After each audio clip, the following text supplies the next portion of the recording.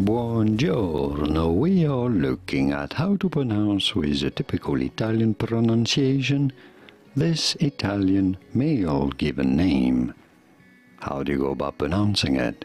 In Italy, it is said as Leonardo, Leonardo, but it'd be fine in English to say it as Leonardo, Leonardo, from Italian Leonardo.